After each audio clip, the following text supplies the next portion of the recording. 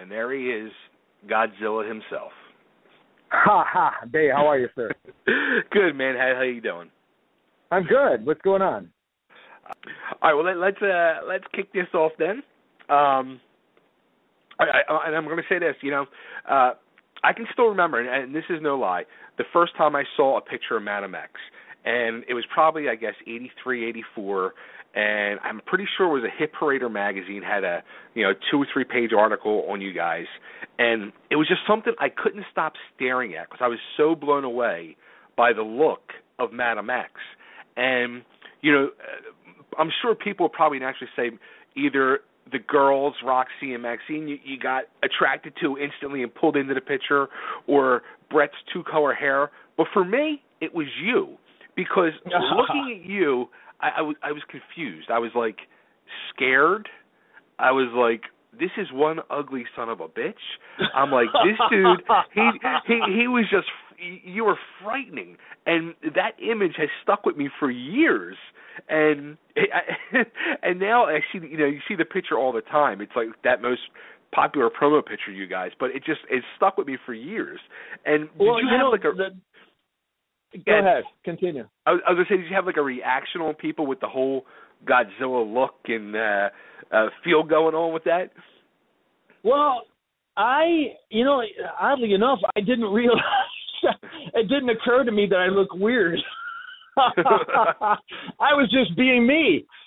Uh, oh, that's awesome. It, well, it's the truth. I, you know, I don't know. Uh, here's the deal: when when Madam X when when we you know were doing what we did in Detroit as a young band back at that time in the early 80s there was probably I'm guessing around maybe 200 clubs that had live entertainment every night like you know wow. five four five six sometimes seven days a week for some clubs and and wow. we played a lot we we you know we were in a cover band know we did covers and then we started writing music but we played every you know the agents kept us busy like literally like every week it would be either a four or five day uh you know at this club and then you have a day off and then you go to another club for but on our days off we would go and check out the other groups uh in Detroit and and that was and back in the day I mean the the talent level was really not to not to say it was maybe any different than any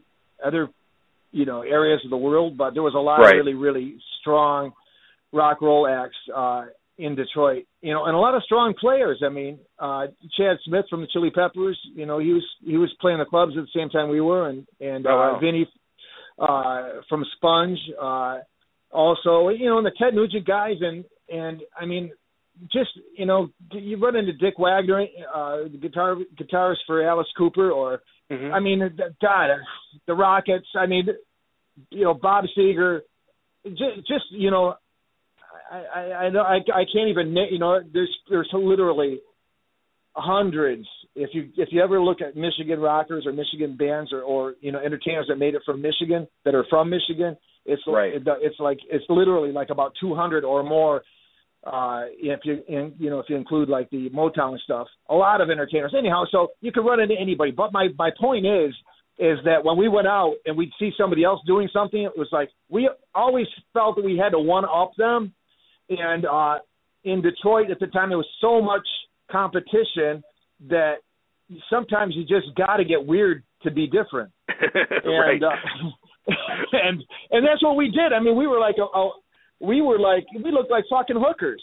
you know, go, during the day when we go to the grocery store, we were just uh, just weird. I mean, I look at those photos, I go like, man, that, that's pretty weird shit. But you know, I really didn't.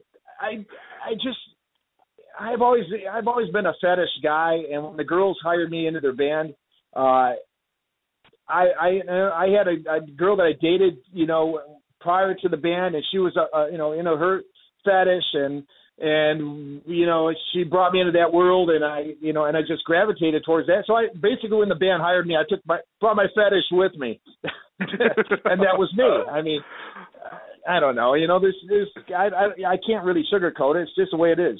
Uh, yeah, when we were yeah, uh, we, when we went to Los Angeles, we you know we'd beat around the the clubs on the East Coast. We'd be out on the, on the East Coast in summertime, Detroit, and then in North northeast, uh, you know, Vermont, New Hampshire, and and New York, and and Right. uh, Canada and stuff. And you know, in the better weather, and then when it was the weather became shit, we go down to you know Texas, Florida, Oklahoma, Arizona, Louisiana, you know, the southern states, and and do this like you know it was like a banana route. You know, we just swing around, you know, and in in '84, you know, we we and we were writing songs, and we started out as a cover band, but we you know we like hone our chops, you know, in front of different audiences around uh America, and you know, and and you you know write a song and either it's received well, you know, or or it's not. If it's not, you just you know you push it aside or you work on it or whatever. So at some point in 80s in in 84 we felt that we had enough original music and it was like we were so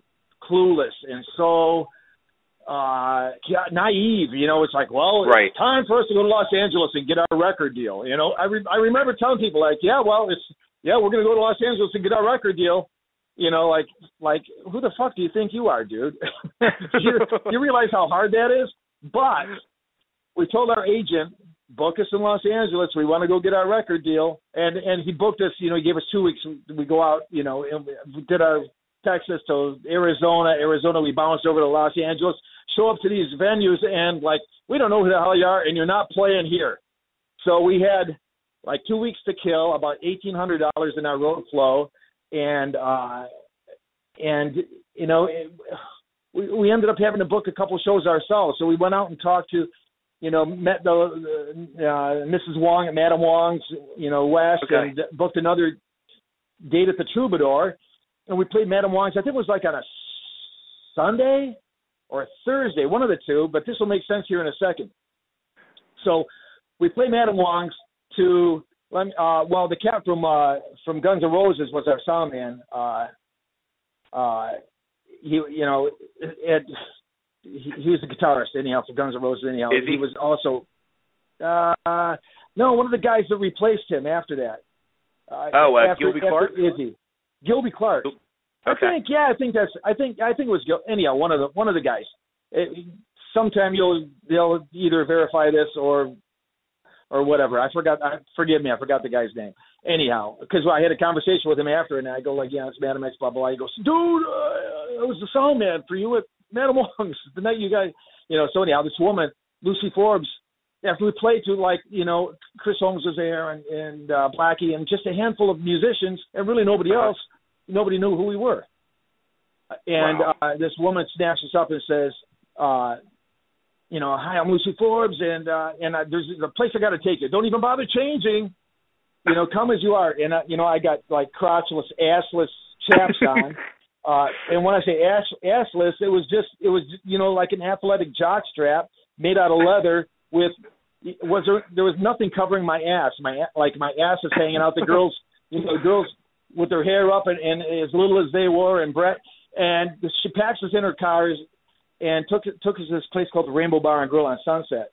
And she Right. says, "Don't bother changing. Every they're all musicians there. You're going to fit right in. Everybody, you know, you're you're going to be very comfortable." So we walk in this place, and like there, you know, there's Lemmy there, and uh, uh, Brian May from Queen, and everybody's in there like their normal. They're not in performance mode. Right, right. but but we walk in looking like what like what the fuck planet are these guys from? It's like you know, it's like oh man, all eyes were on us. But here's what happened. Uh, we we walked past this table because the place was packed, and this guy says, "Hi, I'm Robert Street from Jet Records, and who are you guys, and what are you about?" Blah blah blah. So he introduced himself, and we just happened to have some like old, you know, now it's EPK, everything's electronic press kit. While we had old school Right. press kit, you know, vanilla envelope with some eight by tens and a bio and you know stuff like that. So we give it to him. He introduces himself. There's some other people from the Jet office there uh, as well, and uh, and at the time, Jet, you know, had Black Sabbath and Ozzy Osbourne and uh, Air Supply, Electric Light Orchestra, and then they brought in Lita Ford after that. Um, so anyhow, so we give him this stuff. He introduces himself, and the next day I called our agent to find out what the hell's going on, you know. Uh, and he's and we also had a second date booked at the Troubadour, and he says, "Do you know who Don Arden is? I said, no. He goes, it's uh, Don, Jet Records, Electric Light, 180 million records, Ozzy Osbourne, Black Sabbath, blah, blah, blah, blah, blah. And he wants to see you at the Troubadour because uh, apparently the Jet office called our agent, and and then the agent forwarded this. And this is like pre, you know, th- there was no, right. cell phones didn't even exist. You know, right, if you wanted right. to make a phone call, you walk down to the payphone and put in about a hundred dollars in quarters and called whoever you had to call. Uh, so I mean, it was really, you know, not not the, the communication world was very very slow back then. But so anyhow, we made this connection, and uh, Don wanted to meet us. So Brett and I go to the jet office, and he says, "Yes, I'll bring him. I'm coming down. Put me on. Uh, uh, put me on the guest list. Put the entire uh, the entire staff on the guest list, and and so forth." So we did, and uh, we played to again. Uh, uh, you know, not not uh, just a handful of people. Again, it was like Right. Blackie and Chris Holmes, and you know, and some people like that, and the entire jet office there. So, and we played our asses off. I mean, it was like you know, this was like do or die, you know. So Sure. after after we finished our our set, went up to the dressing room, and uh, uh, uh, Randy, uh, my bass tech, runs up like his ass was on fire, bursts through the door. Don Arden's on his way up. He wants to talk to you. You know, it's like, oh my god, really? So this this man, I think he's about sixty years old at the time, like you know, a British gentleman, and he, you know, he, and he carried himself. It's Sharon's father, and and he he was a tough motherfucker. Right. I mean, this this his his reputation is is it's sugar coated compared to the stories that that he would tell us in his office. Like, like oh my god, you know, this this is the, you know, I I was I was frightened of him. You know, he was he was he, you know he'd pound his fist on, on the desk. I want hits, boom boom. You know what I mean by hits? It's got to be cute. Boom boom. You understand? You go back and write me some hits. Boom. Are we clear on this? I need hits. Boom boom. You know, it's like yes Wow. sir. You know. yeah, it was really it was it was it wasn't you know it wasn't like it wasn't like yeah there's a studio go be creative and you know and just you know it's like I need something brilliant. Boom. So anyhow he introduced let's backtrack he comes up the stairs, introduces, I'm hello, I'm Don Arden. You know, that enough. You're my greatest find in the in, in the last five years. He- listen, I, I want you to go back on the road, and and I'm going to sign you to my label, and we're going to get, you know, CBS to distribute, and you know, and he's he's going out. I mean, he was so spot on about how he thought he was going to lay this thing out, and then he laid it out exactly like that. Listen, go back on the road and, and continue writing and playing, and call me every day. I need to know exactly where you are. Well, We're gonna put, we're gonna piece this together right now. We're gonna put, you know, connect the dots. We're gonna pick our producer, and I just, you know, go back out and be creative and blah blah blah. And we did. And when we left Wow. LA, we had like we didn't even have enough fuel money because we at the time you know we traveled with a, a semi tractor trailer, eighteen wheel you know tractor trailer, Really? forty foot trailer full of lighting and sound, and it all went in every night with our road crew. Know, we had a six person road crew and the band, ten of us Holy on the road, and then it all came out at the end of the night. We loaded back up. We drive three to five hundred, a thousand miles to the next city, and do it all again every night. We did this for years and years and years. So anyhow, we go back on the road, and we didn't have enough money to get out of the state of California because we had to have a fuel permit to get into the state of Arizona, of which we were we were just flat broke. We had no, you know, we ex- we exhausted all of our money in Los Angeles. It was really expensive for us to be there just hanging out for two weeks. You know, with ten of us to feed ten of us in Sure. hotel rooms, and you know, so. uh Long story short, you know, we club that we were supposed to go to in Arizona wired us some money. We got out of there. We did some uh some dates for I guess for about three or four or five weeks, and then they flew us back, and it's emergency. You got to come back and do this work on the soundtrack for for this. uh You know, we went from like literally living in Motel Sixes for for years and living out of suitcases to they put us in at the Hyatt Regency on Sunset, and I'm waking up at you know the sun's coming up because we had to be in the studio at 8 a.m. or whatever, and I'm you know there's made you know the guys hands were fresh squeezing orange juice for us and eating filet mignon every day. And I was like, I thought you know like I must have died and gone to rock and roll heaven. it was it was it was amazing. But that that's that's basically the you know that's that was the hard knocks of the whole event. did did you, know personally like at that point in time? I mean, you guys signed your deal with uh with Don Arden and Jet Records and all. Did you think to yourself like, wow, like we made it, or did you think to yourself, okay, now the real work really begins now? I I'm sorry. Can you repeat that one more time? Did Did you think uh, when you signed the deal with Jet Records that you guys had made it, or did you think like yourself like now the real job really begins? Well, I mean, it was. Here's the deal. I didn't. I didn't even tell my family what had happened uh, until after the fact, because so many times, and, and you may uh, you may have lived this. Maybe you understand. Maybe your listeners will know that, or, or have also lived this. That you know, you get your hopes built up, and people, you know, they they make promises that never develop, and you tell, you know, and you and you're young and you believe it, and you tell, start telling people, and then you know, within a short amount of time, nothing flushes out, and, and it's just, you know, so I had this like, oh my god, I don't even want to jinx this by telling anybody what's going on. So it wasn't until after we signed, you know, we were signing checks for it was a lot of money to us back then. You know, a hundred thousand here, two hundred fifty thousand dollars there, another hundred thousand here, eighty five thousand for this, blah blah blah. And it, it, yeah, no, I felt like all my Christmases when they finally, you know, when they finally produced all the paperwork, which was like literally t- telephone books full of of you know legal this, legal that, so convoluted. Uh, hmm. you know, just, we didn't even read. You know, we didn't bother reading. It was like we had an, our attorney there and he said, "Yeah, this is good. Sign this, this, this, this." You know, it's just like sign, sign, sign, sign, sign, sign, sign. But we don't, you know, did we know what we were signing? No, we had no, yeah. we had no clue. All we, it felt like we had won the lottery though. But um, it was, yeah. I mean, there was a lot of work to do, uh, but we felt that we had a certain, we had accomplished a certain amount. Did we have any? Did we have creative control? We had zero creative control. The album that, that the photo that they used for the first album was uh, a photo session that we rejected. It was done in Texas, and we hated it. And and there was really? no photoshopping back then. Oh my God, right. it was. I mean, it was it was so we, it was so painful. Uh, and then CBS airbrushed the pubic hair off my legs, and they airbrushed one of my arms away, and and you know, and maybe look me, me look even more lurchish than I already look. Uh, it was like, oh my, it was oh, it was terrible, was dreadful. We hated it, but we were stuck with it because we had we we signed what we the the contract we signed. We had zero creative control. It was all it was all all Don's. You know, uh, I I want cute hits. I want cute songs. I it's got to be cute. Do you know what I mean by cute? Right. Don't go ahead and write me a cute song and make sure that it's a hit. you know, it's like, dude, yes, sir. So I mean, it basically sounds like you guys basically became Don Arden's puppets.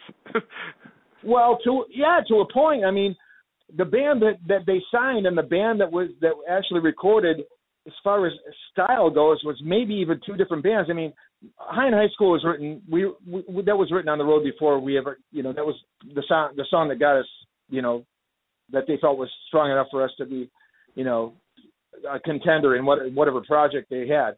Um, let me see. There was Stand Up and Fight was written. Uh, Metal in My Veins or no, Metal in My Veins was was pre-written uh, before we got our deal.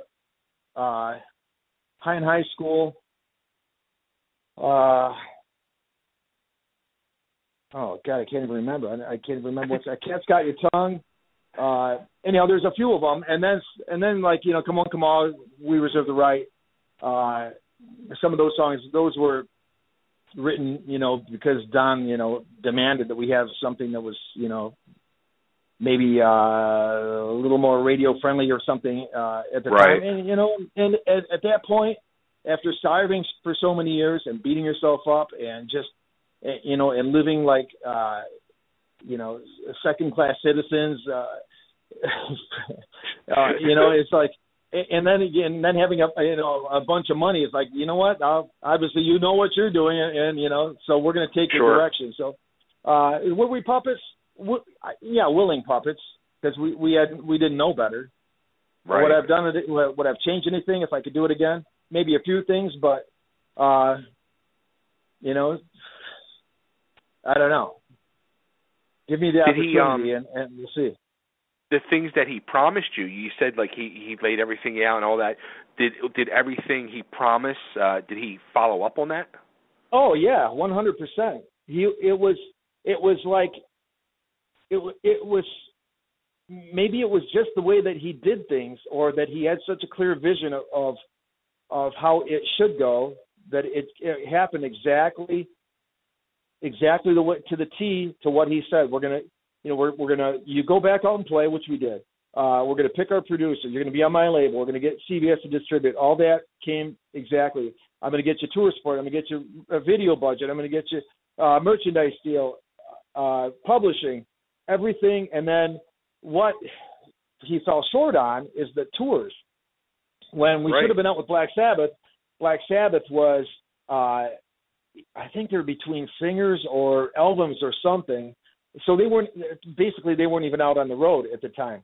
And right. Don had Don Don was a very shrewd businessman, and he wasn't well liked amongst in the business uh, w- between other managers and or maybe agents uh, that had had business dealings with him before. For instance, uh, you know, Quiet Riot. We should we should have been out with them, but Quiet Riot was a support act for Black Sabbath. Uh, right. And and Quiet Riot had a you know a top ten song, uh, uh, of which I can't remember the title, whatever it Uh, was, Banger Come Head, On, Feel uh, the Metal Noise. Ba- Yeah. Whatever Metal it Health. was. Yeah. Metal Health, right, exactly. Um, and you know, and uh, you know, and then when you reach out to these to these other managers, as far as you know, uh, the Ratt guys and so forth, I mean, we rehearsed uh, at, at the rehearsal studio. Ratt was in one room and we were in the next room, and you know, so and the Ratt was go like, "Yeah, you guys got to come out, you know, come out." And you know, and uh, we're gonna do this tour. and You guys should be blah blah blah blah blah. We go to management to Don and say, "Yeah, well, the Ratt guys want us to go out, you know, on tour with them."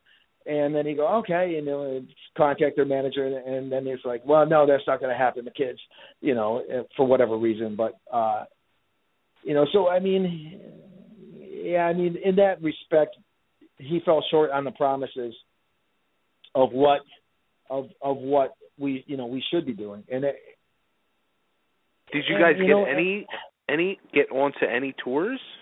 Yeah, we, we played with you know we were we did Lita Ford, we did uh Motorhead, um you, you know we did a lot of I mean we had a, a huge following, uh a draw on the East Coast and down you know in in like you know in certain cities or certain states. I mean we were like you know may, uh, maybe you know not so dis in you know uh what am I looking for different than maybe uh Metallica or something. I mean not Right. you know I mean, we were, you know, we we would do like, you know, huge numbers, you know, Mhm. and uh so and we, you know, we go out, we did headlining tours of the same venues that we we played, uh, you know, for higher money, of course, and and you know, in more, you know, now tour buses and you know, and brand new semis and stuff, but um yeah, no, the the, the big tours that he promised, uh, they just never developed. You know, Right. and the band that was that he that he was working uh, Air Supply uh, hard that was out playing a lot was I mean their audience and our audience was you know was like 180 degrees difference. You know, just, that wasn't a compatible bill at all. Right. Wow. Yeah. im- im- imagine that tour. Yeah, I know, right? the Misfit tour. yeah. Exactly. Exactly. So, do you, I, I guess do you think that was the true downfall of the band itself, the original lineup? Well, there was um, the, the lack of creative creative control had a lot, and we all resented, and and and you know that was a, uh, sore spot with us. Um, at some point, we were we were uh, scheduled to go back do our second record, and uh, the uh, Jet people you know, we we have a meeting scheduled with. Well, here here's how it, here's how it was in the in the beginning. We, you know, Don wants to see you, so we'd go to the office and we'd be waiting in the in the in the like the green room, and Mhm. it'll be us, you know, Maxine and I uh, or Brett on you know on one couch or Roxy or whatever, uh, and then a coffee table between us, and then on on the other couch is Tony Iommi and Geezer Butler, uh, and you know, I mean, it was like, you know, it, it was that it was, it was for us that was the real deal, you know. Uh, yeah. And then uh, and then later on, you know, they said, well, we had meetings with Don, uh, with Don, and the, they said, oh no, the jet people, like office people, no, no, Don Don can't see you right now. He's in with the DA. And, uh, I don't know what the DA is. I had no clue, but I turned out it was the district attorney. But what happened is that he had an accountant that was, uh, from what I understand, was embezzling oh. from Don, and Don chased him back to Britain and beat the fuck out of him. and, I mean, after the fact, Don told me the story. He says, you know, and I I put my my coat over his head, and and you know he would pick his head up to to see where I was, and I'd hit him in a and hit him with that some kind of a leaded glass crystal ashtray or something, you know, smack in the head, you know, and, and anyhow, he beat the hell out of this this guy and uh, collected some of the money back that the guy embezzled, and then the guy turned around and uh, filed attempted murder charges on on Don rather in uh, Britain, and uh, reported him to the government in the United States for uh, taxes, and then Don had that to uh, deal with. So at oh, the boy. same time that we were, you know, the, your flights are booked, your your flats are booked. You got we picked our producer to, you know, three weeks later, the office is shut down and they cleared everything out in trucks, and we're going like, hello. Uh, wow.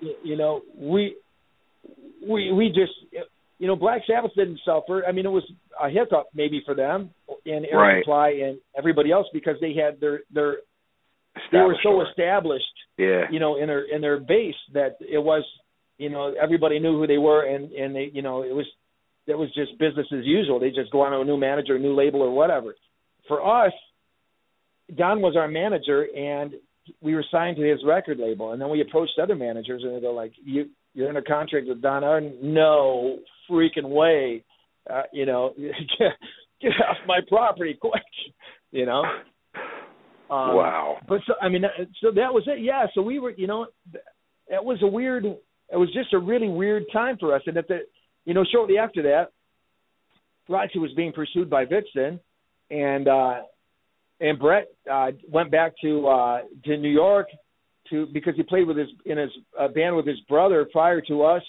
uh snatching him up. And uh so you know they they went and did their thing. And after a short amount of time you know and the jet office people was like don's got this handled you know not too much longer not too much longer not too much longer. And you know and we like we were so naive we just waited and waited and waited you know a month turned into a year and then a, a year turned Wow. into two years and it was like you know what? It's this it, it's this isn't going to happen. It's you know it's, it's obviously this is this is now done. So then we got a couple you know we Maxine and I hired a couple other cats and we went out and uh and did our thing but the chemistry wasn't that was never the same with players as it was with uh you know with the original lineup. And Right. I, I'll bet you could ask any artist uh that's had a, a member change along the way you know and as as good as as the replacements are and as much as they bring to the table it's it's just you know i mean for us it was just never the exact you know the chemistry was was never the same and and a band Yeah. is it's a it's a the chemistry is everything Sure. you know i mean Sure. like take take Joe Perry out of Aerosmith, and it's you know as good as the other guys are, uh, and you put it's anybody else in there, it's just not the same. Or likewise, Right. you know Van Halen without Michael Anthony, or or without Dave Roth. I mean, I love the you know the Van Halen, Sammy Hagar Van Halen, but without Mike Anthony, and no no you know no disrespect Yeah. to uh, to uh, uh. Eddie's son. I forgot his Yeah. yeah, Wolfgang. yeah, yeah, Wolfgang, right? Uh, but it's you know it's just is it is it it's probably as different to the band as it is to the audience to see the band as you know as a different uh, you know incarnation or carnation of Sure. of of uh something. You just you just expect you hear things you know and see things and when it's not it's you know it's just different. And as far as songwriting and, and camaraderie you know between the original four of us that that wa- that's unmatched Yeah. Now, uh, if p- people don't know, uh, one of those replacements was uh, Sebastian Bach of Skid Row fame. Right. And uh, so, I mean, how did you get along with Sebastian? Because uh, I'm sure you or everybody out there who knows, uh, you know, the Skid Row guys don't get along with Sebastian. So, how, how was it when you were working with him before he uh, rose to fame? We okay.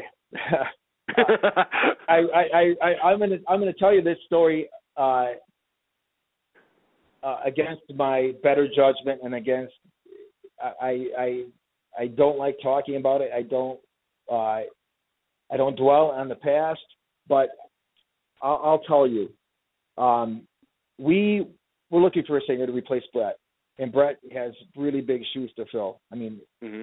He Brett is Brett is a great entertainer, and, and he's he's a he's a motherfucker, and he's got he's just you know he's a, a lot. Um, right. So we did this a Canadian uh, tour, and so a guy named Sean Pilot was uh, our liaison in Canada, and and we came back to the states, and the band kind of dissolved because of the Jet Records thing, and right. uh, uh, Sean, you know, said, I, I, you know, you're looking for a singer, I got a singer for you, and he sent us this promo kit of, you know, of this singer uh, and I think we were in Phoenix, Arizona at the time, or, or maybe we were back in Michigan. I don't know. But anyhow, long story short, it came in a Manila envelope, and we I pull out this photo of a young Sebastian. I think he was probably 17 at the time, uh, and he's just he just looked beautiful. I mean, he's just right. he's a beautiful, you know, young man, you know. And I thought to myself, oh, great, and uh, you know, guys that look like this can't sing. So, and I pop in the cassette tape of and it was him doing this kind of a ballad, like a rock ballad, and it was like, oh my god, this is beautiful. This kid singing right. like a bird. So we flew him out, uh, auditioned him, fell in love with him, and and he was and he was very eager. He was a Madam X fan. Uh, he he went and saw you know we did it several Toronto dates and he was at all the shows and and he you know he loved Brett and uh and he he knew all the songs he knew everything he knew all about us you know and uh and he he just seemed like the right guy for the gigs. But he was re, he was 17, I think, at the time, really young. Uh, had no, you know, I taught him how to drive. He, he lived in my house for a year and a half. Uh, wow. I fed him. We we wrote songs. You know, we played played frisbee at 5 a.m. out. You know, in the summers summertime. Just you know, we did we did everything. He was he was great. But we would walk with him every night walk or run. We had this like ten mile course. It was like a one mile course where we'd like do you know count our laps, and that was our miles. You know, so eight, okay. five, eight, six. You know, and we, you know, taught him how to be, you know, how to do interviews. If you if you're doing an you know, I, and because Michael Levine from uh age the Michael Levine agency in Los Angeles was our okay.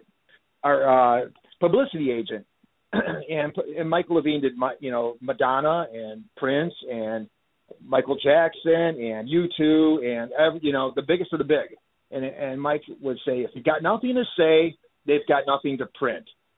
So be sure to say something. I mean, it was you know he they taught us how to do interviews, so we taught Sebastian how to do interviews and how, and how, and how to perform on stage and and you know and and he's you know he was young and he and we demanded a lot from him. But you know, he'd right. say, "I want to be, I want to be great. I want to be, I want to, you know, if I'm flat on stage, punch me, you know, spit on me, humiliate me, do do whatever. I would just want to be great. I want to be, you know, he wanted to be a rock star. If we if we didn't pick him up, would he have been a rock star? Of course, because that that was just in the cards for him. Would it have happened with Skid Row at that moment? Maybe not because the, right. it goes it goes into another story here. So, you know, he would be he, he would come out and blow his nut the first three songs, and then he would sing flat, and I would come up, you know, boom, you know, blast him in the arm or in the back of the head or whatever with my fist, or spit on him, and you know, you're fucking flat, you know. But what I was doing is is trying to help him be a better you know, here's the deal: if if if somebody go if somebody does, is a performer and they and they play and and you say, wow, that was great, knowing that they could do so much more. there's no incentive to be greater. There's no incentive sure. to push the envelope to be to to jump that that next run rung on the ladder and be better. And there's a movie sure. out called Whiplash. And if you haven't seen Whiplash, go see Whiplash. It's about a uh, a drummer and an instructor slash performer, and that is the Godzilla Sebastian Bach story right there. When I saw it, it was like so like it took somebody millions of of dollars and 30 years to tell the story of of why and I Sebastian he still harbors this hate towards me. You know, I, I was hanging out with him a couple weeks ago. Uh, and then he brought me up on stage, and we and, and we had a moment. And he brought me back to the bus after. Uh, we and I apologized. I told him why I did what I did, and and he, you know, he and he told me how he felt about me doing that. And and all I can say is, you know, he, it was it was a moment. I mean, we it was it was it was it was it was daylight when the bus left and all we right. did is, is is cry and tell each other, "I'm, dude, I'm so sorry for, you know." I mean, but he's he was he told he says on at this show on this date you did this that and that, you know. Then the next date we went to blah blah blah to you know to the next city, and they knew the the name of the venue, and and it was like it just happened five minutes ago. I was like, oh my god, this I. He, uh, he said, I was a little boy and you hurt me, and I, I just wanted to be your singer, and I just wanted to be great. And, and dude, you were great you were fucking brilliant. You were you were, but you I couldn't. I I, I know you could be better. So anyhow, right. so long story short, or even a long story even longer. uh, and I, I, if you want me to shut up, just say, dude, shut up. No, no, but, no. Uh, we we took we were invited to a guy named Mark Weiss's wedding, and Mark Weiss was our photographer. He photographed Sebastian and with us, you know, Madam X, and, and with Mark McConnell on drums. And uh, he also photographed Madam X, a lot of Madam X stuff prior to Sebastian. So, you know, Mark was getting married and invited Maxine and I to his wedding out in uh, Red Bank, New Jersey. And um, at that time, I was just so like frustrated with with Sebastian because he was young. He he, he wanted to party and be the you know and and live the rock star lifestyle without putting in the the the, the you know the work to be sure. that guy. You know, I mean, you can't be that guy part time you know, dude, I don't want you to sing great three songs. I want you to sing great 15 songs because we got 12 more to go. you know, not, you know, but, but you know, I, I I saw him a couple of weeks ago, and he was fucking fantastic. And that was the first time I had seen him since the last time he played with me. I never went to see Skid Row. Uh, I, I, you know, I just, I was just uncomfortable with the whole episode but I went and saw him, you know, a couple weeks ago, and he he was he was every bit as great as I remembered him, you know, as a kid. He was fantastic. He sang perfect the entire set, and it was it was it was just great. But anyhow, so we took so. We, but what we would have happened if you went and saw him three weeks ago and he sang great for them first three songs and then he went flat for the rest? Would you have still I punched him upside the head? Motherfucker. I know you can do better than that. Um, yeah, probably. Uh, but there's no, I, I criticize his performance level. He, he he he's a rock star, and he he performs like a rock star. But you don't. That's not something you're born with it to a point. But right, you have to. You know, it's like some guys are just you know they're just good drivers, and then they become good you're real good drivers, and then they're then they're winning the India Indianapolis 500, or you know that might not be a great analogy, but you know you're born with the skills, and and then you have to hone your chops and and you know continually building, you know, and and and uh, fine tuning everything until you're you know you're at that level. Well, he's he's at that sure. level, but so we we brought Sebastian and Mark. The, Uh, it was Maxie and I were invited to this wedding, and, and at that point we had already said, okay, Sebastian, great, you know, we we need to figure something else out. This isn't working. So he uh, he you know Mark and Sebastian weren't invited to the wedding, but we brought them anyhow, and. uh well, well, not like we crashed it. We okayed it with the bride and groom. You know, like we're bringing Mark and Sebastian. Right. We have a place ready at our table. You know, we paid them for. You know, the weddings are not cheap, so you know we gave them the the uh, in Italian they say the boost. You know, the financial right. donation to you know cover help cover their seat and so forth. So, but anyhow, who was at the wedding? Kevin DuBrow, uh, Little Steven from the E Street Band, Zakk Wylde, the uh, uh, uh, Jon Bon Jovi's parents, um, the Twisted Sister guys. Uh, oh man, it was uh, it was you know a, a, a, a wedding of you know rock stars. Uh, sure. So we we all sat in with the wedding band, and then John says, "Wow, you know, I'm I'm putting a a band together called Skid Row. We don't have a singer. Your guy would be perfect for the band." So like, dude, he's he's all yours, you know. And that was that was the mo. I mean, that was it. They, they, that was the connection right there. Uh, wow. So I mean, now were you deserve shocked? It? Like, yeah, he, he deserved like, it. But you know, and then John whipped him, you know, into shape as well. But right now, how about like uh, as time went on and they started uh, having success? What were your feelings about that? Were you shocked or? Well, okay, in that movie Whiplash, the the the the drummer who's uh, does the best drum solo he he feels he can do, and and the instructor slash his you know perform the the guy the band leader walks out on stage and says you just shit that turd on my stage in front of my crowd really? Although it was fantastic but he knew that the kid could do better. Um and uh what, what was your question? What, what were your feelings what oh. were your feelings as Skid Row uh, rose to fame and Sebastian became such a star? Well, some of our some of our crew went to work for him after, uh, you know, when he when he went on a Skid Row, so they would kind of give us the lowdown on what's going on. And Sebastian's, uh, he he just he want. I mean, he again he wanted to be he he wanted to be a rock star so bad that he put 110, 150 percent into it just to show us up. I feel.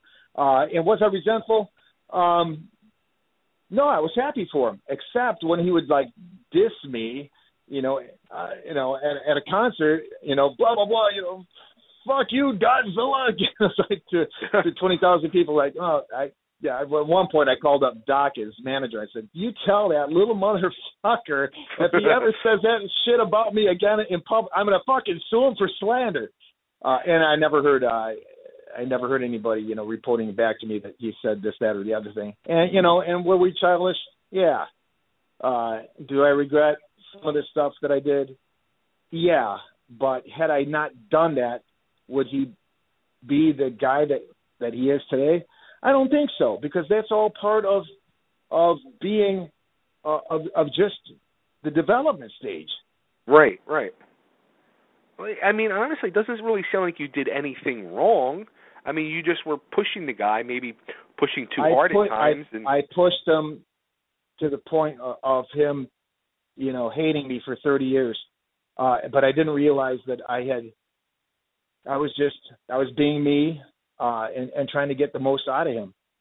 And, and, Right. and kind of at his request. And I knew how bad he wanted it. And he told me if I'm flat, punch me. If I spit on me, humiliate me. And I did right. because that's you know that's just it's just who I am. And but you know, but it was for the it was there was for it was for a good cause. It wasn't because I was yeah. you know some you know some lowly kid who's you know at a karaoke show and singing terribly. I would probably buy the guy a drink and say thank you for the, for amusing me. But it wasn't you know I wasn't disrespecting somebody who I thought was you know a hack and disrespecting them for that reason. It's like I know that you're. I know I've heard you sing better. I've heard you sing better at rehearsals. I've heard you sing better at other shows. I need you to sing better every night, every song, not just you know, not not sketchy. Uh, because at the time that we had him, we still we were still commanding a high dollar right. uh, and playing for big crowds, and the people expected to hear somebody that you know Sure. singing, you know, like Sebastian sings now.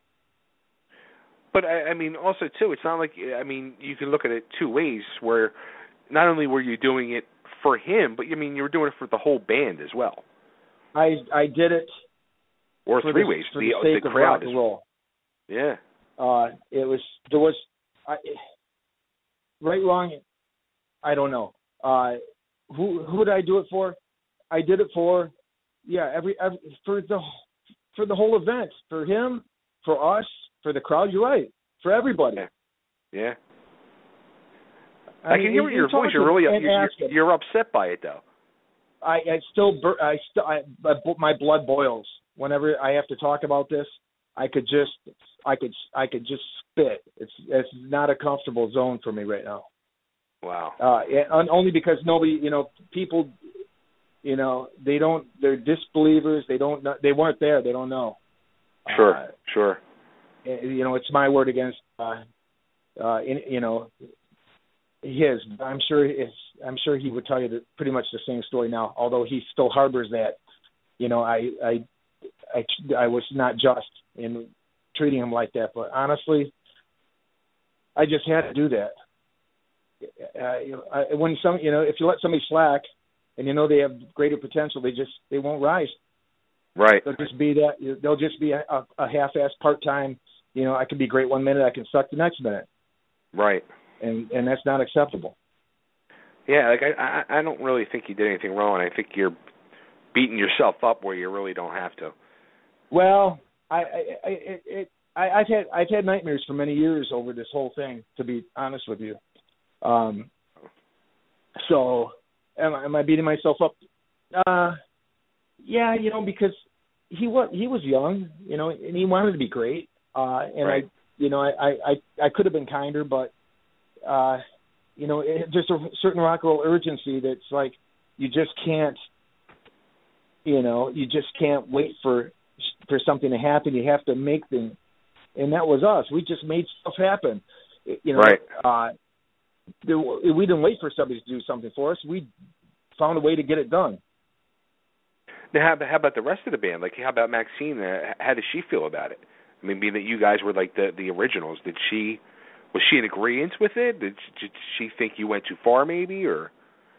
You, you, I, you know, I can't speak for her. You'll have to ask her that. I, I have no idea. Um, I think uh, I, I, she probably thinks I carried it too far. Uh, I would imagine, but I, I don't know. I, I don't know. I, I don't really. I don't know. You'll have. That's something you could discuss with her. I have no idea. Okay. Now, a- after this whole situation with uh, Sebastian, I guess leaving, did you leave at the same time, or did you guys get another try to get another singer? Or yeah, we um, we, you know, we regrouped. Uh, we had Mark, the drummer that we had with Sebastian, Mark McConnell, um, mm-hmm. and we had uh, we had um, um, um, um, a guy named Dave from Tennessee, I think. Uh, good-looking kid, just clearly not right for the band, but we had uh, obligations that we had to take care of. You know, uh, uh, dates and stuff, and we needed a guy that you know that could sing. And Dave certainly right. he could sing. Um, but you know, it's again there. It's the chemistry, and that was, mm-hmm. you know, that was oil and in water. You know, uh, right. Him and the band. There was no nothing gelled about it. it was it was just not uh and not a good mix. Right. But you know, no disrespect. He he he sang well and and he was entertaining, but it just wasn't right.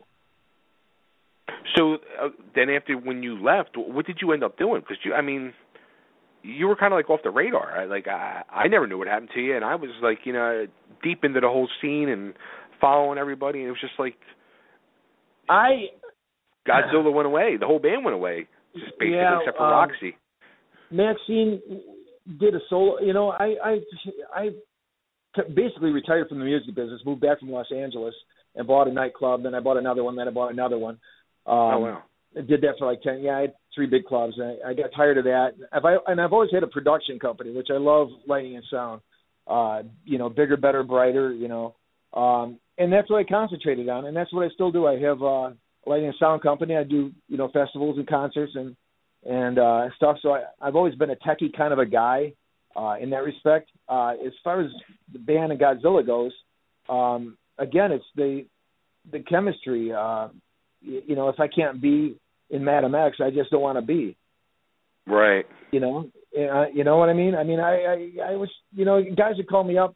Uh, oh god, uh, you know, uh, just you know, I, I won't I won't mention any names anyhow. Uh, guys, Right. you know, hey, uh, you need a bass player. Come on, you know, blah blah blah blah. What are you doing? So it's like, oh yeah, no, no, uh, yeah, I, I'll, you know, and it, well, partially because it was uh, bad timing because I had, you know, a lot of, I, a lot invested in nightclubs and, and employees, Right.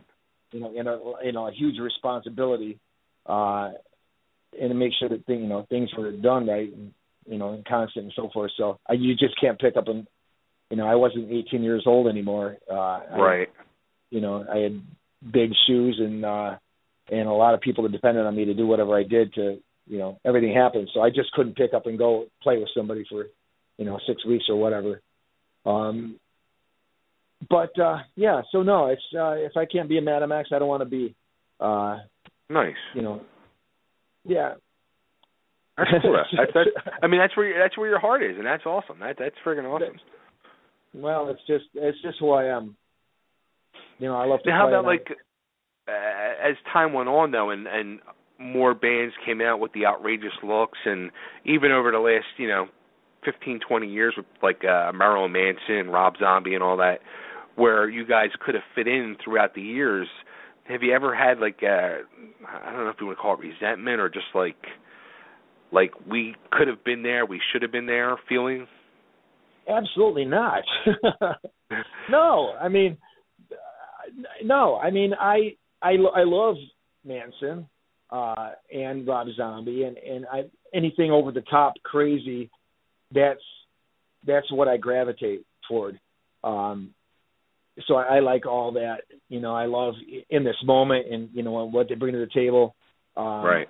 you know, uh, out, you know, outrageous. Uh, I, I'm all about that, and I think the rest of the band is too. Um, but no, I- did, did I ever? No, I didn't. ever. I was never resentful of you know of somebody else's uh, uh, fame or or fortune. Um, I'm glad for them. You know, I, I no, think not at not, some point resent, not, we, uh, we not help- resentful of them, but just feel like you guys still could have been in the mix and a major player like with these other bands. Well, it was because as much as as as as much as Don did for us, in some areas we he, you know the, the whole organization fell very short. Uh, right.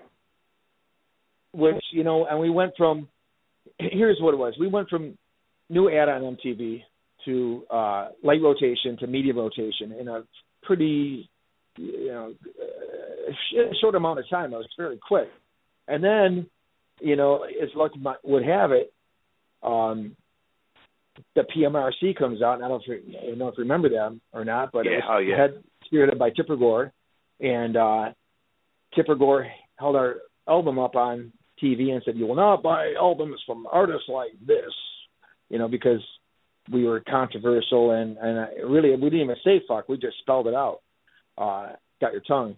Um, so um, and then at AOR, album-oriented rock stations switched their format from AOR to CHR, current hit radio, and started playing more hair Cl- or hair, what you know, Boy George and whatever, uh, you know, Madonna and Prince, Michael Jackson, and you know, and, those, you know, uh, that kind of uh, genre, and uh, and switched their format. So we went from like a hundred and whatever ads stations, you know, in, America. Uh, Mhm. it, you know, and because their format was changing, so was uh, you know, you're getting dropped, you're getting dropped because they're they're going to a different format. and uh although we were we started losing ground in America, we were gaining ground elsewhere, like you know, in Europe and Japan and and uh and so forth and you know, and in England, uh in the UK and so forth. So I mean we were we were still, you know, doing well in other parts of the world, but in America it uh the whole scene changed and like I said earlier, the bands like Ratt, um, Motley Crue and you know, th- those bands already had an established uh fan base and and foothold. Um and um, because we we, you know, it was our first record, and and we got kind of got cut short in the middle of that, the the promo section of it, and Don's uh, reputation and and people not wanting to add us to their tour because they didn't want to work with Don. You know that that, uh, that all just uh, played in the uh, the lack of you know whatever success that album could have done. Now let me just say this: uh, we've remixed and, and remastered the "We Reserve the Right" record. Okay. And we pulled out a lot of. I mean, it, now it. I was never never loved the way that record sounded, uh, but now I love the way it sounds. With today's technology, uh, and going back in and and and re you know and just re EQing stuff and retweaking it and and it's like oh my god this it just sounds fantastic like, like I, I you know it's like this is the way it should have sounded in the first place um but you know there's 30 years of technology uh to you know that play into it but it was uh yeah it sounds great i mean we have a we're i just you know i'm in the studio right now and uh uh, we just finished. Uh, well, another '80s rock song is is uh, the first single, and we're okay. finishing a record, a, a new record, 30 years later, of great, great music. The songs are are, are really strong. There's a little something for everybody. Um, and Roxy, who was never a contributing writer in the past, for whatever reason, I don't know, but now she's just coming up with this these these brilliant lyrics that it's like like dude this you know this it, this is it's this is really good dude. I mean it's her her lyrics are really good.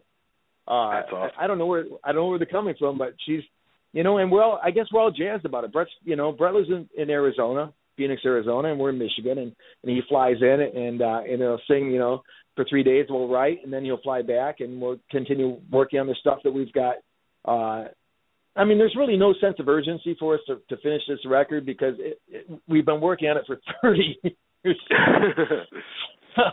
no, I mean, really, no, we haven't been working on it for 30 years, but it's 30 years in the making. I mean, I, I've had like 30 years of songs stuck in my head and my heart, uh, and it feels good to, to release that and get that out there. And likewise, everybody else is just like coming up with like, wow, this is really good. This this is a great song, and this is a great riff, and this is, you know, it's we have a really really good record, uh, and I'm I'm anxious for people to hear it. Did, did you ever expect like this day would come 30 years later? The band, the original band, would be back together no. again. no, ever. Hell no. Uh, no, I never how did did. it happen? How did it happen? Well, Maxine, uh, she's been, you know, she's had a solo career ever since uh, Madam X, and she posted something on, and I was never a Facebook or a, a media guy. I, I don't, you know, my idea of, you know, I just, I, you know, it's like, I, I don't want to know that you're polishing your your toenails and or you just got your hair. I don't give a fuck, you know. And and I always said like, you know, if I did, if I ever have a Facebook, I'm just like, I'm, I just got done sharpening my lawnmower blade, and I'm, you know, or or you know, or so, whatever, you know, just got done, you know.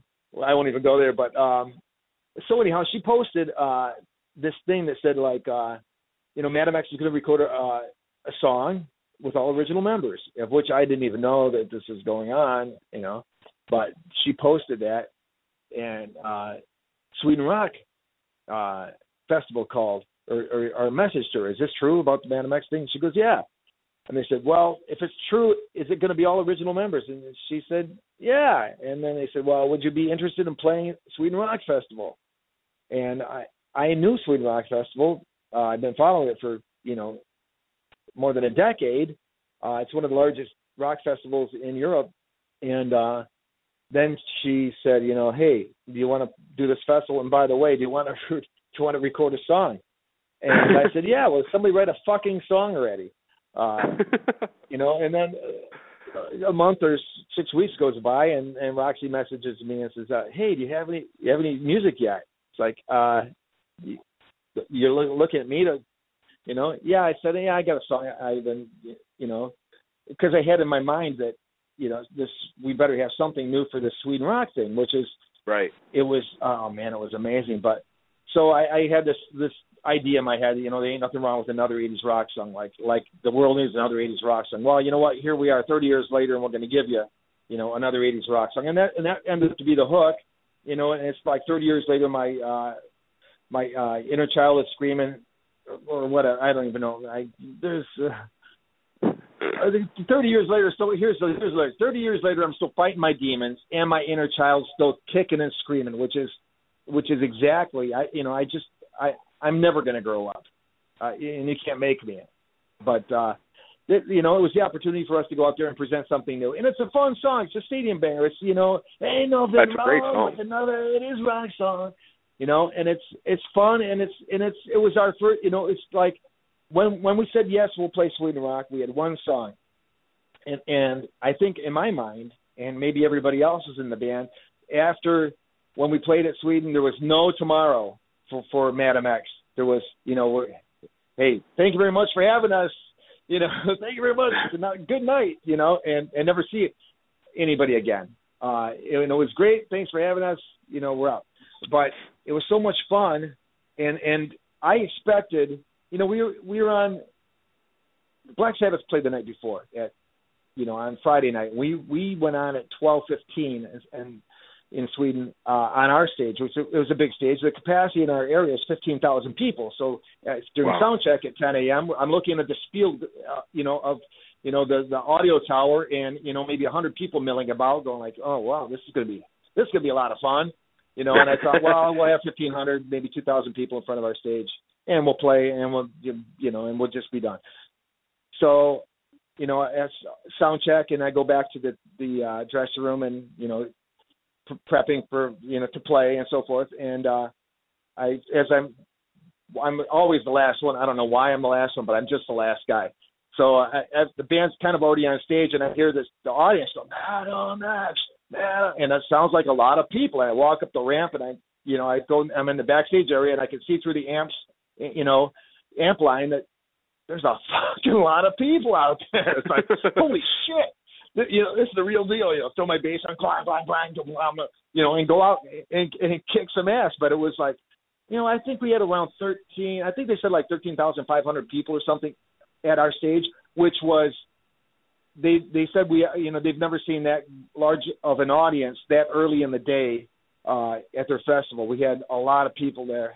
And then our meet and greet area or the line was it was they you know you have an allotted amount of time and we exceeded Right. our our time because still hundreds of people in this kettle you know line Wow. to you know for the meet and greet thing so they extended our they doubled our time and then they almost tripled it and then they finally cut us off and you know and there was a bunch of angry people uh but we did the best we could. I mean, there was just a ton, uh, just a lot, a lot, a lot of people. So, you know, Sweden was, it was, that was just a great.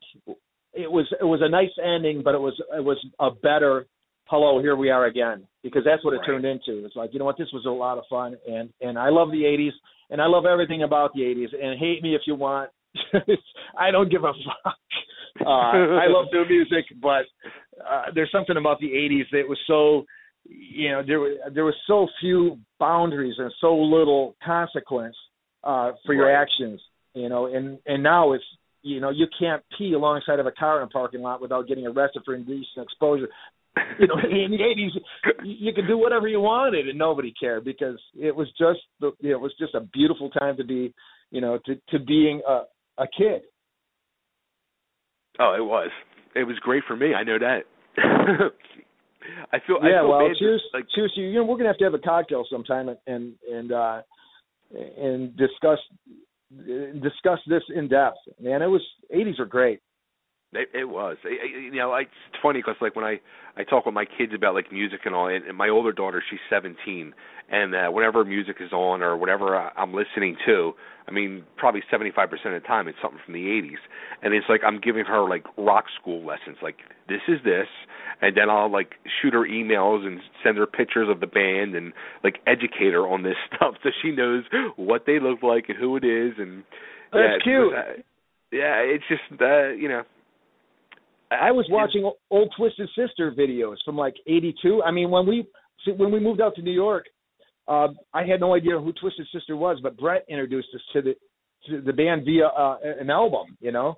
And then we started playing shows, and then we started playing with you know with Twisted, you know, and or we go see them, and then uh, you know, and then we ended up being on their shows. And same thing with the Kix. Right. Love those guys. Um, and I've been watching these old uh, these YouTube videos from of Twisted, and my God, what a what a great band. I mean, and Dee Yep. Still to this day is like, you know, he's he's he's a rock god. You Yeah. know, Yep. flawless. They're amazing.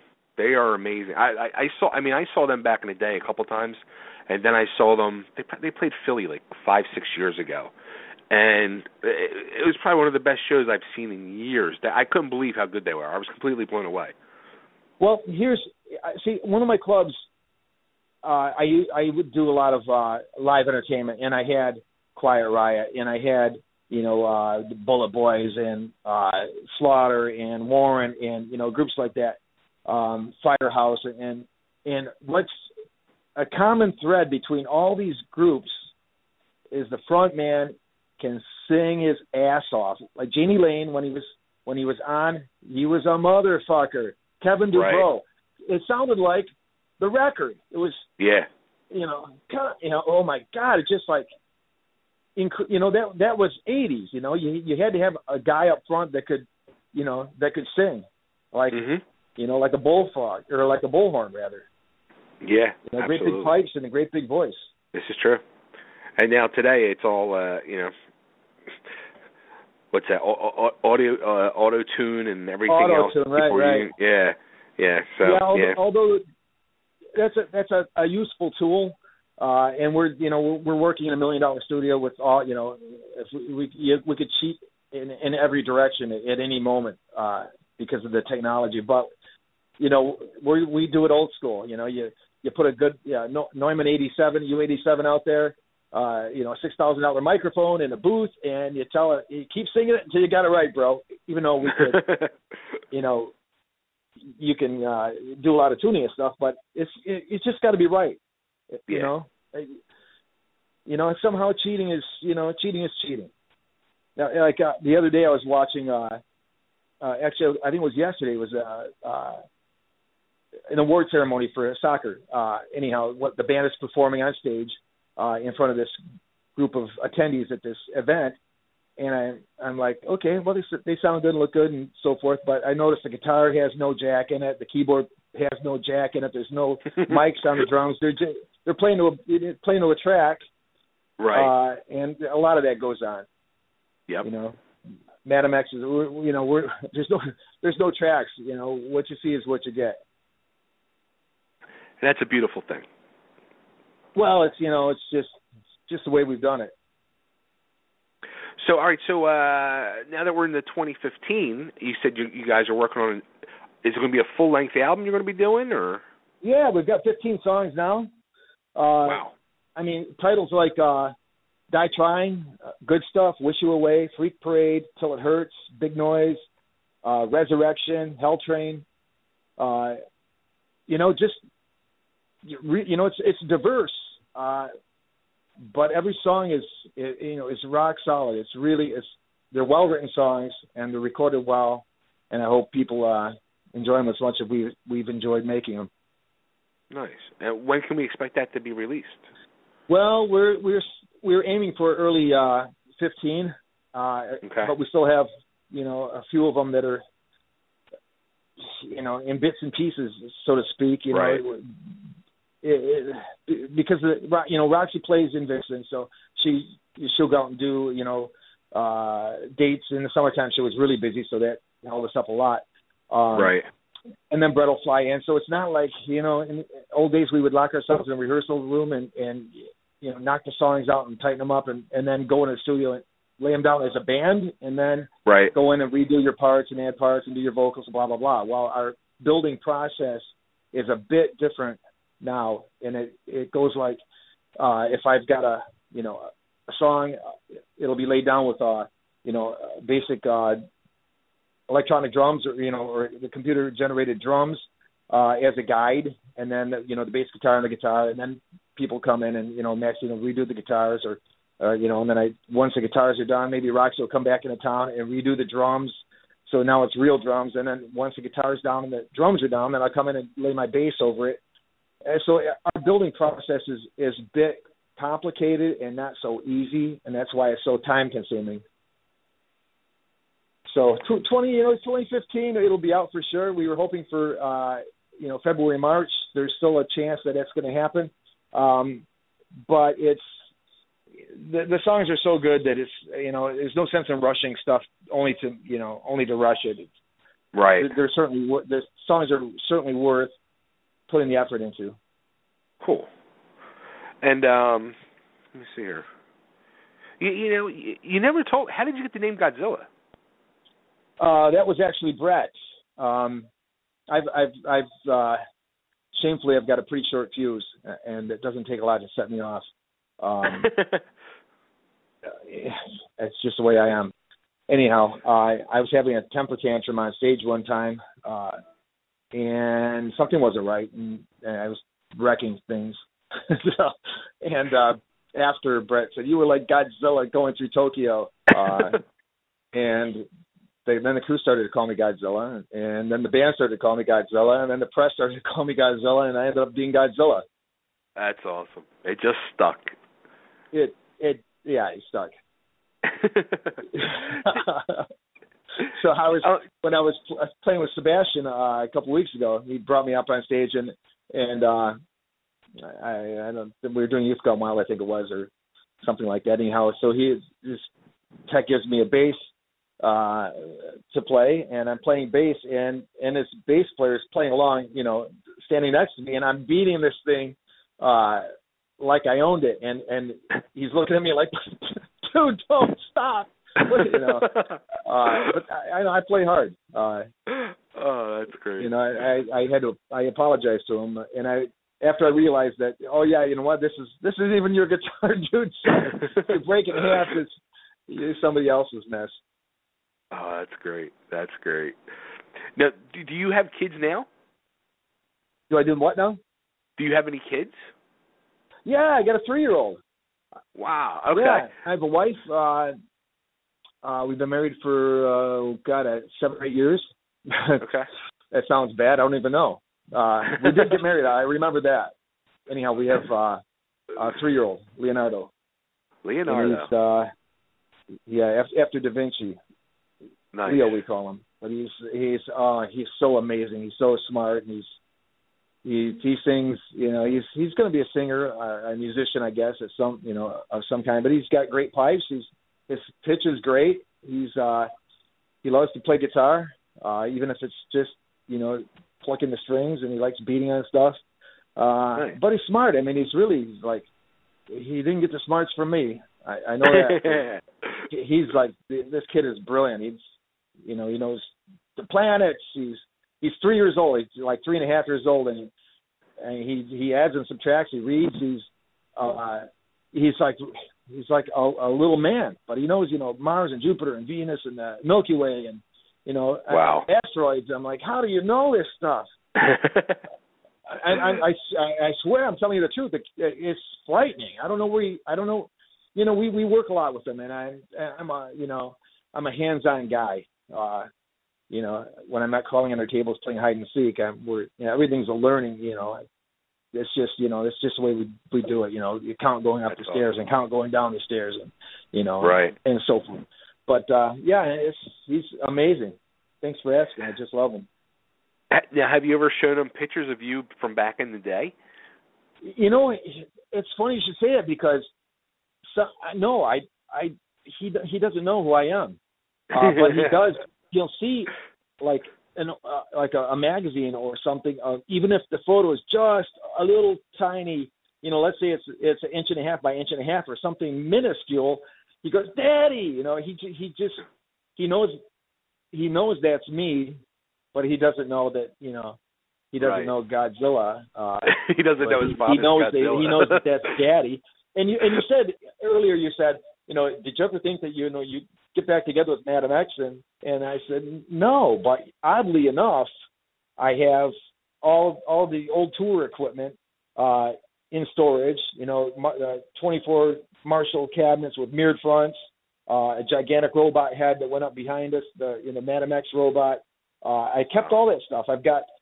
I opened up a, a wardrobe locker just before we went to Sweden to see if there's anything I could use, and all my old leathers are still in the wardrobe locker, like they're ready to go on stage. However, after 25 years of baking in in a storage unit, uh, the leather's pretty. It, it's it's it's like uh, p- pretty petrified, but it's you know everything's still there. Like I was you know like I was ready to go back on stage at any minute. Wow. Kind of funny. That's awesome. You held, you held on to all that stuff. Isn't it weird? No, you, you know what? I. I, would I would have done the same thing. I totally would have done the same thing. Yeah, yeah. I mean, it, it was so much a part of me that it's like, I, I mean, maybe like, I don't know, you know, I, uh, a certain part. I don't know. There's so much DNA in, in those in that old dried up leather. Oh man, Uh, crazy. that's funny. Now, did, did I also see somewhere that you grew up with Madonna or went to school with Madonna? Yeah, that's you're calling out my age. Yeah. yeah. Uh, she was in. oh, I went. We went to West Junior High School together, um, and she um, she lived on across a street called Walton Boulevard, and I lived in subdivision on one side of Walton. She was in the subdivision on the other side. But we went to West Junior High School, which was a common uh, junior high there, and uh, I went to school. I was in seventh grade when Madonna was in eighth grade. Um, Okay. So, but I always remember in school that she that because I used to, you know, back when you're in seventh grade and, and the girls got breasts, she she was a target for me, and that was her sister Paula. So I I like you know, Paula was my pseudo girlfriend or whatever because for whatever you know whatever desires I had. But anyhow, so Paula was Madonna's sister, and but I always noticed that Paula had this super sexy just she was just different from the other girls, you know. But I really didn't understand, you know, what it was. But she was just Right. different. Anyhow, uh, one night it's kind of funny. Uh, I was talking to, her, to Paula's or Madonna and Paula's brother Chris in a local restaurant, and uh, and we were you know out playing, and this is probably around 2000 or uh, not 2000, no, it was 1982 ish. And uh, I said to Chris, I said, "How's uh, how are the girls doing?" Meaning Madonna and Paula, and he said, "Oh, you know, Paula's go to school for uh d- you know fashion design or something like that. And madonna's in new york and she's demoing records and, and stuff and he pulls out this paper he starts to read me the lucky stars lyric. Lucky you could be my lucky star blah blah blah blah blah. And i thought to myself this is no shit this is so so like incredibly stupid of me. And, you know I, I thought to myself like who the fuck does she think she is? I'm the rock star in this so we we go to Los Angeles in, in '84 and get our record deal, and I hadn't gone back to Michigan. Know, I hadn't come home, right? So because we're on the road all the time, and I don't know what's going on in in the rest of the world or in my hometown. And I'm sitting in my apartment in Los Angeles, and I'm watching MTV because every once in a while would be on there, and you know, and I keep seeing Madonna, you know, Lucky Star, Lucky Star, Lucky Star, you know, and then it it was like a waterfall. It had, you know, somebody poured a you know a bushel basket of water on my head, like like oh my god, that's Madonna Ciccone. that's and that's the song. You know, it just I, I, I somehow I, I never put the connection together, right? So then we came back after our record was out, and everybody's like, "Fuck you guys," you know. let's talk about Madonna. Like, okay, I get it. wow. Did, did, now, did Madonna ever realize that uh you were in the music business and uh and Godzilla? I don't. I don't know. I, I re, you know, I time I saw her. Well, I shouldn't say that. I saw her perform after that, but uh, I I remember doing a uh, a talent show at the junior high, and uh, and I my band did uh, 18 by Alice Cooper. No, no, we didn't. We did uh, elected. I think it was. Yeah, I was elected. I had a little uh, you know band in, in junior high, and uh, she came out and, and did her thing. Uh, and I don't remember what she did, but I remember that she performed, and I think she won if I remember correctly. Um, no, I don't know. No, I never talked to her after that. I mean, she's Madonna. Dude, she could she could buy the state of Michigan if she wanted, Yeah, right, right. or whatever. I mean, I I mean she's No, You I know, mean, she's- she's, she's for Madonna and- yeah, yeah. And I, I just don't understand how she thinks she's like royalty now. I don't, I don't get that. I you know what? I don't know. Uh, when you have that much money, you can be anything you want. I guess so. I guess so. I guess that's how it is. I mean, you anoint yeah, yourself I mean, royalty. she, she, I want to take a, a trip to outer space. Uh, of which will I ever be able to enjoy that? You know, because of my the financial restrictions, probably not. However, she can. so she, you know, if she ever needs a travel partner and she's going outer space, hey Madonna, Godzilla, I'll, I'll carry your bags. No, that would be a blast. Uh, no, no, I haven't. Uh, I haven't talked to. Her. I haven't talked to Chris. You know, the family. Uh, th- there's just pe- there's handlers and people that keep uh, you know everybody uh, pretty much away from them unless they want to be involved. Oh, sure. But her her daughter's going to uh, one of the local colleges here. Uh, oh wow. Par- pardon me. No, I said, oh wow. Yeah, yeah, she's going to Michigan State, uh, I believe. Um, cool. So yeah, I mean it's, it's the family's still in the area, um, but yeah, she's she's certainly done well for herself. Nice. All right, so uh, I, I guess we'll wrap it on up now. Uh, so this is what I this is what I want to do. Okay. Um, for, for for you and your listeners, uh, what I'm going to do is smash a bass, and we're going to give it away to uh, if you want to do something, uh, some kind of a contest or or uh, a charity or whatever you decide you want to do with it. But we're also I'll, I'll take one of my basses. Uh, and autograph it with via a little bit of destruction, and then we'll have the band put uh, their signatures on it, and you guys can do uh, an '80s tribute, do it to a charity, uh, uh, one of your winners, whatever you want to do with it. Put it on your wall, throw it in the fireplace. I don't care. Once it's out of my hands, that, that's the blood's on your hands at that point. You know, it, it, here here it's it's funny that you say that because um when I first started emailing with Brett and we started getting this whole thing going, um, and then you had emailed me and you told me about smashing the bass and all. I emailed my two buddies who were like my my two buddies from back in the '80s who were still tight, and we always email back and forth. If we're not emailing, back goofy uh porn or naked girl pictures, it's '80s songs or '80s music or whatever. So I emailed him last week. I said, "Yo, rem- remember this band?" And I emailed him the picture over. I said, uh, "I'm going to be interviewing them for the show." And I said, um, the bass player Godzilla wants to smash a bass. And we were almost like, that's friggin' awesome. And then I emailed him over your new song, and he's like, great, thanks. Now you got me singing this friggin' song all day in work. Excellent. Well, you know what? Thank you. thanks. Thanks very much. Um, I, dude, I, I, I don't know how many.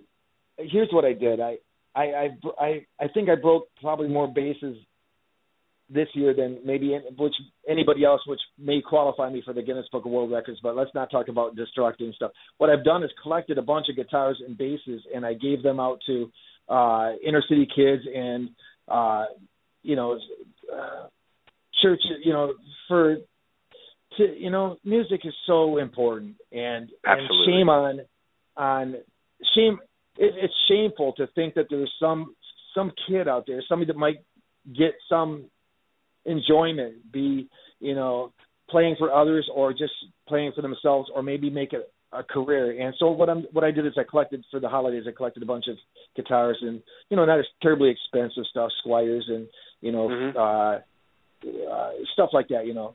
Uh, and uh you know you know cheap Epiphones and stuff like that and and I gave them away but anyhow so that's something I, I enjoyed doing and uh that's I, awesome. I, I I would like other people to maybe take this idea and and you know it's giving is is everything you know? Yeah. I mean it's just pay it forward. Uh it's it's music and, and music should be you know it, it's because somebody can't afford to to go out and buy an instrument doesn't mean that they're not worthy of of you know sharing their talents with somebody else. So if i can help somebody realize you know uh, a dream or, or a desire or, or bring joy in that respect to somebody uh, I, I that's kind of one of my new missions. But um, yeah, nice. you know, I'll, I'll, I'll uh, yeah, I, I can either break the guitar and video it, uh, so it's authentic, or we can just you know uh, sign it and give it to you. And I'll, I'll pick if it's going to be an intact one, then I'll I'll pick uh, a player that I that I uh, use frequently, so it's got a lot of you know uh, patina, if you will. I, I'll tell you what. You you know, listening to you talk about all that, um, and, and everything that we just talked about for the last whatever it's been hour, hour and a half, um, people really will get to know after hearing this interview the true man behind Godzilla because there is a man and his name is Chris Doliber and he is not just the Godzilla monster that people might think he is. So, I mean, you, you, this has been a great interview, and I, I, I want to thank you seriously. Oh, thank you, uh, and and thanks for the uh, for the compliment. I, I certainly enjoyed it, and and you know, it's it's a fantastic life that we uh, that we have, and and you know, and I don't want to waste a, a freaking moment. and I have, I, I yeah, I, I if I died right now, it, dude, don't shed a tear. I've had a wonderful like I wanted to be a rock star when I was a kid, and, and I did that, and, and I've had the chance to redo it again. Uh, nice. You know, and and thanks to you and and your uh, listening audience, and and and you know, people that, you know, it's it's all about people, man. It's like right. You know, music music doesn't mean shit if it's if there's nobody there to hear it. You know, it's I agree, hundred percent. You have to have listeners. Yeah, you know that's like uh back in the day when I was playing in local band here in Philly, and uh you know we we would be writing songs and working on songs and all, and it was just I would always see the same thing like sitting here and practice working on these songs over and over without realizing we're going to get to play in front of a crowd with these songs or record them so people can hear them like what is the point? Like it's just there's got to be an end result. And that was right.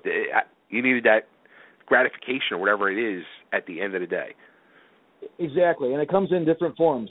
Uh you know and don't get me wrong i love you know i i I love just sitting on you know on a chair and a couch and and you know playing guitar, you know, noodling and you know and I, I do that for me. I entertain myself. I don't need you know I could be I, I don't need a lot of I I'm not a fancy guy, dude. I put me in a cave you know on a on an island and I'll make cave paintings. I'll I'll be on a hollow log. I I don't need a lot of you know I can I can entertain myself quite uh or myself rather quite well. But you know yeah, it's like you know, there's there's no sense in working on a record, uh, you know, and and putting a lot of time and effort into it if if there's nobody if nobody's there to hear it, you know, it's it's really uh, a moot point. It's you know, sure.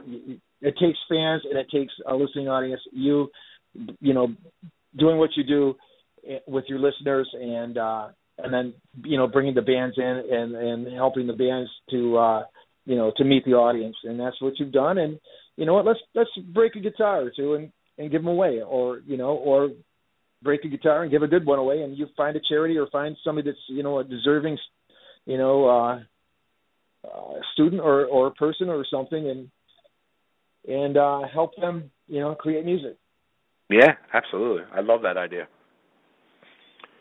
Cool. All right. Well, uh, let's see. Uh, two things before I let you go.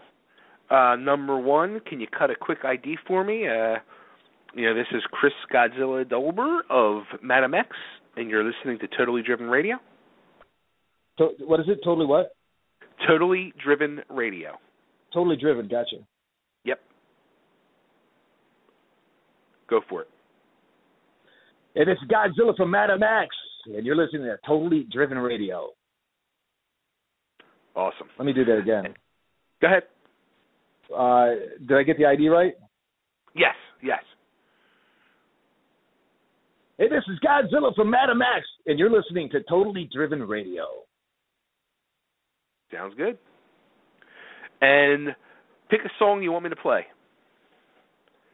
Um, I think another '80s rock song. You well, know what? That, that, listen, that's a that's a given. Pick pick another one. Uh, Metal in My Veins. There you go. And uh, I'm gonna get you um, the re the remastered, remixed. We reserve the right. And I, okay. dude, it it sounds uh, it's just those. That's what the way the songs were record. I mean, that's the way they were written, and and the, they were recorded that way for some reason the you know I listen to the old the old LP and I don't hear hi hats, I don't hear cymbals. I you know it just sounds, you know, it's like where where'd all that stuff go? So you know we we remixed it and, and remastered it, and everything is there. Like the the song flow the songs flow better. There's a lot more energy. It's just like wow, you know this is this is the way I wish that it was you know translated uh, or translated rather the transients uh, but it you know it just didn't happen. But you know this we got a second a second chance at it. So anyhow, I'd like to get you that. Uh, and if cool. Uh, now, did you guys release that, or or you going no, it's, it? it's it's it's actually kind of top secret. Uh, we we're going to release it, but um, I'm, I'll get it to you first. Okay. And uh, and then we've got we're working on the uh, the Sweden Rock. Uh, they're doing a documentary about the band, and uh, we're doing five for the fans. Uh, the songs will be High in High School, We Reserve the Right, Come On, Come All, uh, She's Hot Tonight, and Metal in My Veins. Uh, and it's okay. accompanied with the live uh, DVD. Uh, they did a five camera shoot and and like whatever how many I don't know how many you know channels of recording it was I don't even know a lot. Uh, wow. So that's that's being mixed and edited right now, and that looks and sounds amazing. It's like after you know we hadn't played together in 30 years, and, uh, and and and we rehearsed uh, three days prior to we, we rehearsed in May. We rehearsed in May with Brett for three days, about three hours a day, and then we did a uh, a dress rehearsal at the Diesel Concert Theater in uh, in Detroit area here, and that was our our our performance. And then a month went by, and we flew to Sweden and we played, and uh, and that was you know the performance you see is a band that's that we were so when we were young and, and doing it you know every day every week for years and years we were really good. Uh however for not doing it for 30 years it's still pretty freaking good. A lot of energy. I mean it's you know it's it was uh that's the man the Sweden the Sweden audience also was just freaking uh amazing. And uh we hope to get uh we put a bug into our agent's ear and uh and told him to get us on the M3 festival, which is in Maryland in May. Uh, yeah, I mean, yeah, they just, as a matter of fact, they just announced uh, bands the other day. I think it was. Yeah, they, there's still some some openings from what I understand, um, and we we would love to be on that show. Uh, we used to play absolutely on the East Coast a lot. Uh, had a great uh, following in, in uh, Baltimore area, um, you know, in New York and and so forth. So you know, it would be nice to, and we got in our face, you know, our, our social media, we've got a lot of uh, fans from that side of the uh, the country, so it'd be nice to do that. Absolutely. Now, how about um? Did, did you guys ever play Philly? Um, I can't remember. I don't think so. I don't think he's did. I, yeah, I, I don't think so. We did. uh uh You know of course, a lot in New York. L'Amour. Um, yeah, L'Amour's and out on Long Island, uh, Hammerheads and Cheers and um, uh, God, uh, up and down the uh, uh, Connecticut, uh, and then you know, but no, Philly, I don't think so. I, yeah, I no, don't I don't think, think so. so. Here's a story though. Uh, we were with Sebastian actually. Uh, we had a we were coming up from I don't know Carolinas or something. Anyhow, so we stopped at my mom's house in uh in Feasterville, and uh, okay. my mother had this. She bought the the the Hershey candy bar people. The family had this house in the 30s, and it was gigantic. Oh, it was it was you know marvelous. You know the walls were like three or four feet thick. Uh, it was just gigantic, and they had this a tomb actually out in the yard. Uh, after they bought the house, they were trimming this uh, the rose bushes away from this berm, this berm like thing, and they discovered that they had doors that opened up. They went down, you know, the flight of stairs into this arched way made out of stone room. You know, it got down the bottom of the stairs, and there was a doorway that was walled off to the right, one walled off uh, ahead of you, and then the one on the left opened up into a room that was maybe I don't know, 12 feet by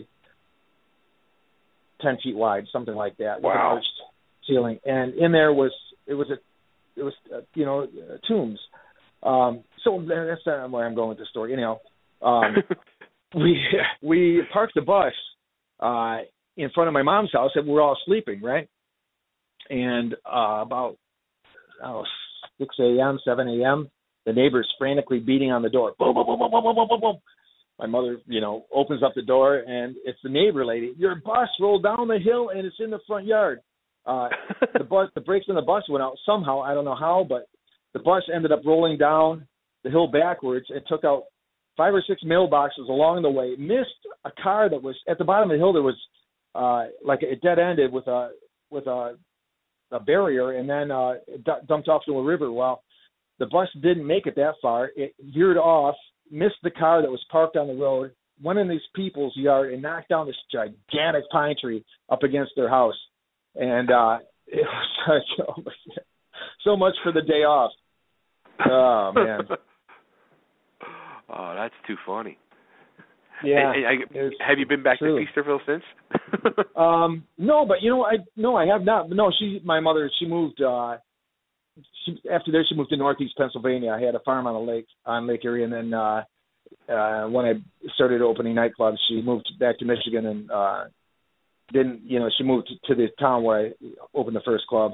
Had a, a house built by the Tahquamenon Falls, which is the largest, second largest falls east of the Mississippi. It's only second to Niagara. And, you know, it's a it's a resorting area. It's beautiful, but that's where she spent the rest of her days uh, happily. And uh, uh, no, I Google uh, I, I Google Earth uh, that area and look at the house and stuff because I always loved that that whole place. That was that was really neat. That's but awesome. that's it. No, I haven't I haven't been back there. Uh, nope, not a few years. Wow. Cool. So, and I guess we should throw out there uh, where everybody can find Madam X and find you. Well, uh, Madam X is uh, Madam X Facebook, um, and uh, Madam X slash Madam M A D M A. Let's do this again. M A D M slash X dot org is the uh, website.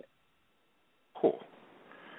And I'll be posting all those things, yeah, all the links to everybody, everything for everybody, and yeah, you you can go. find me at Chris Doliber on Facebook, C H R A S D O L I B E R on Facebook. Uh, friend requests me, I'd be glad to uh, chat with anybody. Cool. I, I'm all about it now. I want to talk go. about sharpening my lawnmower. Actually, I don't even have a lawnmower. I have a service because I have four acres. There's no way that I could get out. I, no, dude, I'm, I, I'm, not, I'm not the lawn mowing kind of a guy. Uh, Not me either. especially when it take me two days to do it. I, you know, so once a week they, the guys come and they're done in an hour. I don't even have a lawnmower, so I won't talk about sharpening lawnmower blades. But Me either. I hire the guys. They come uh, and they're done in five minutes. Thank you. Goodbye. I don't want to be bothered. Yeah, I don't have time for right. Yeah, I don't even. I don't even. My guys usually show up when either I'm sleeping or I'm not home, so it just gets done. That's it. As long as it gets done. Cool. All right, well, Chris, right, friend. this has been friggin' awesome. Thank you so much. And uh, Um, we're gonna we're gonna contact each other after this. You're gonna give me an address where I can send uh, the guitar, and I'll uh, video the uh, the demolition, and then get everybody to sign. Now we're gonna have to. I mean, what's gonna happen is I'm gonna have to do the video, and then uh, have the pick guard. I'll send the pick guard to Brett and have him sign it, and then in turn it'll come back to Michigan, and we'll sign. We'll all sign it too. So there's a little bit of there's gonna be a little bit of a lag because of the geographic uh, location. right, right. Yeah, that's cool. Not a problem. Okay, so Yeah. let's do We'll that. get it all done, and and then uh yeah, and I'm doing uh, I'm interviewing Brett tomorrow night, and then I got to get the girls lined up and uh put everything all together. All right. Well, sorry about all the the dialogue. It- The editing is going to be uh, terrible, I'm sure. You, you know what? I I I was already thinking I might have to do two parts to this. Well, what, whatever you want to do, sir. And if you ever want to chat again, I'm I'm I'm yours. Just give me a shout. Sounds good. Okay. Yeah, we should probably chat after the new record comes out. We can discuss that. Absolutely. I think you're really going to Ab- like it. Absolutely. Yeah, we'll play some new tunes, and yeah, definitely. And I just sent your friend request, so we'll be in touch. Very good. Thank you. Cool. All right, man. Okay, well, have a good night, and uh talk to you soon. Okay. Thanks. Thanks. Take care, Take care. Chris. Peace. Yep. Remember, play it loud. You got it. Bye. Okay. Ciao.